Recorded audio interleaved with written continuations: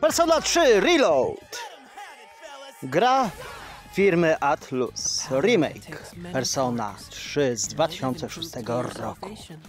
Zdaniem niektórych Persona 3 Reload jest idealnym produktem dla nowych osób, aby zapoznały się z serią Megami Tensei, jednej moim zdaniem z pięciu najlepszych serii JRPG wszechczasów.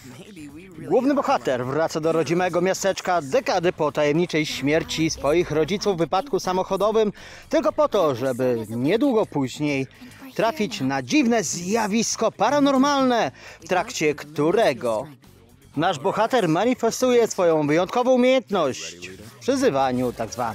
persony. Gra łączy sobą poniekąd symulację życia jako student z eksploracją i walką w dungeonach. Za dnia jesteśmy uczniami, uczymy się, zdajemy egzaminy, pracujemy dorywczo, nawiązujemy relacje, co jest bardzo istotne w rozwijaniu naszych umiejętności i persony. O północy rozpoczyna się tak zwana mroczna godzina, o której świadomi są tylko niektórzy i tylko niektórzy zdają sobie sprawę z jej happeningu.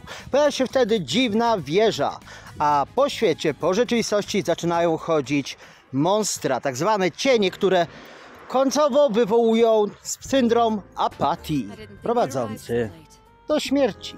Walka z owymi potworami, jak również z różnymi bossami, opiera się na systemie typowo JRPG, jednakże jest bardzo zrobiony, ładnie graficznie, szczególnie, tak jak zresztą w większości serii Megami Tensei, bardzo ładnie zrobione są wszelkiego rodzaju przejścia, jak również same menu i interfejs.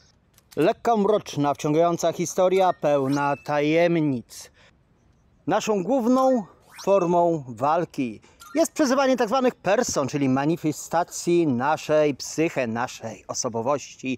Dlatego właśnie nawiązywanie relacji z innymi jest ważne. Poprzez nawiązywanie tych relacji odkrywamy nowe persony. W dodatku, jak to większości tutaj systemów Megami Tensei, możemy później te swoje przywołańce sobą łączyć, mieszać tak, aby tworzyć nowe, potężniejsze persony.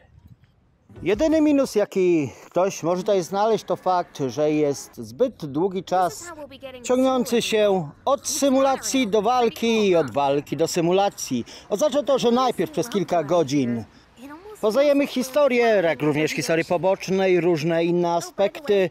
Symulujemy życie właśnie studenckie, tylko po to, by później przez kilka kolejnych godzin chodzić po dungeon.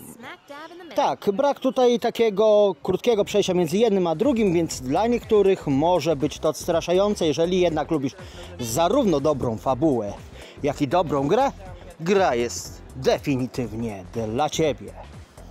Persona 3 Reload. Moja opinia 9,5 na 10. Gra konieczna dla fanów JRPG-ów.